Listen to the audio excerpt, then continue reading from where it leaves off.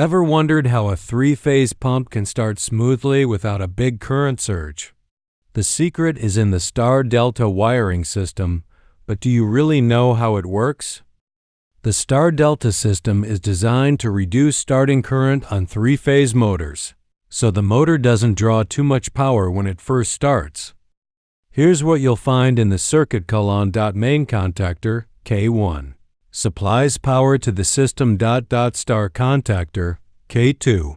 Connects the motor in star mode for a soft start dot dot delta contactor. K3 switches the motor to delta mode for full operation.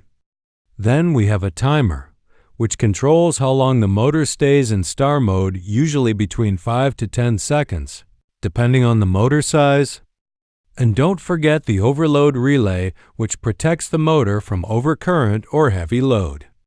So tell me when you wire a star delta starter, how many seconds do you usually set your timer for the smoothest transition?